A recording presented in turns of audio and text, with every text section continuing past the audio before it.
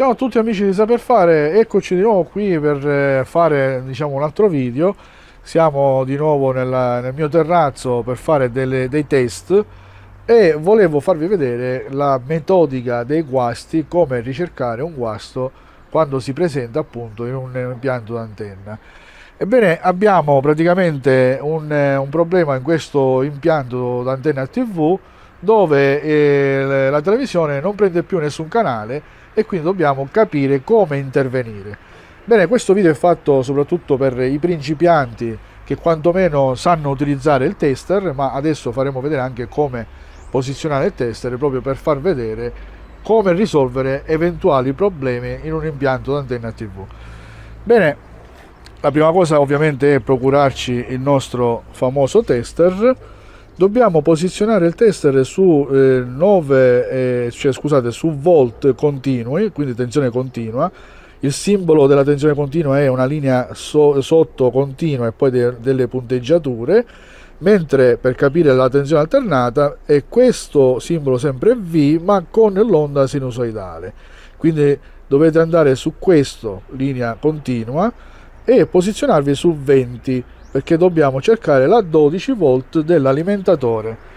Ebbene andiamo a posizionare ovviamente poi il puntale nero su COM e il puntale rosso su V di volt. Una volta fatto questo io posizionerò il tester sopra l'amplificatore cercando di stare attento e adesso dobbiamo andare a misurare la tensione ai capi di, della discesa la discesa è contraddistinta da eh, più CC, quindi è l'alimentazione che arriva all'amplificatore. Dobbiamo mettere il nero sulla calza, sulla massa e il positivo, il rosso, sulla lama centrale. Guardate, arrivano 9 volt 62, quindi significa che c'è un problema, perché ovviamente non arrivando a 12 volt l'amplificatore non eh, riesce ad amplificare il segnale dell'antenna ricevuto. Quindi dobbiamo capire dove sta il problema.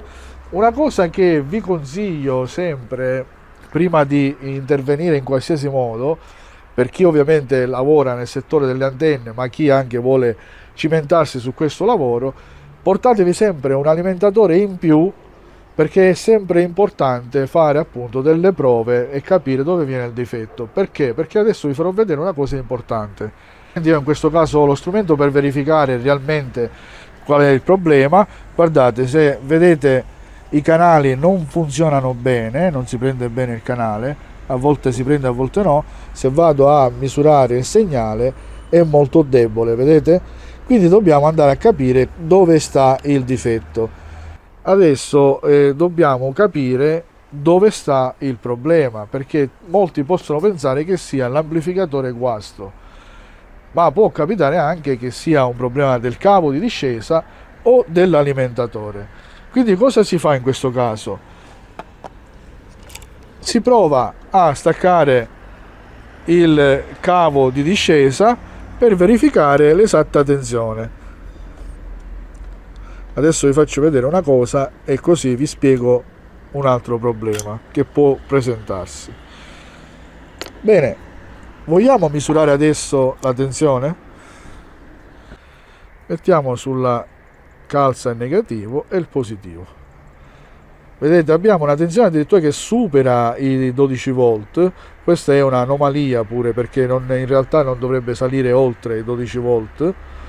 E quindi eh, questa cosa mi dà da pensare che non è l'amplificatore anche se sembra in questo caso l'amplificatore ma bensì potrebbe essere l'alimentatore perché abbiamo visto che il cavo è integro perché se non era integro potevamo avere la stessa tensione quindi 9 volt o quello che sia praticamente o addirittura 0 e quindi cosa si fa? Una volta accertati che abbiamo questa tensione elevata il consiglio è portatevi sempre un alimentatore in più con voi per poter testare appunto poi alla fine con un altro alimentatore se il problema viene risolto adesso andiamo a sostituire l'alimentatore e vediamo cosa succede.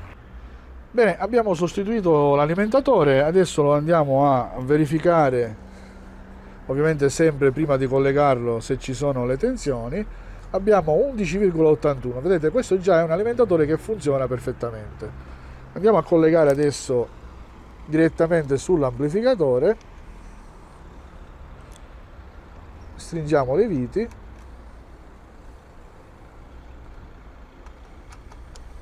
e verifichiamo se abbiamo ancora la stessa tensione all'incirca anche se qualcosa più bassa perché ovviamente ci sarà un po' di assorbimento però non dovrebbe scendere sotto gli 11 volt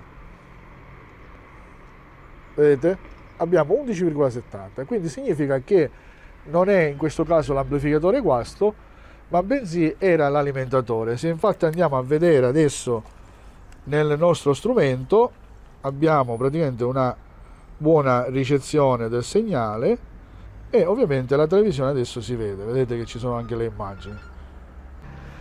Allora come dicevo praticamente eh, non sempre può essere l'alimentatore guasto ma a volte potrebbe essere sempre l'amplificatore. Però la metodica di ricerca dei guasti è sempre la solita.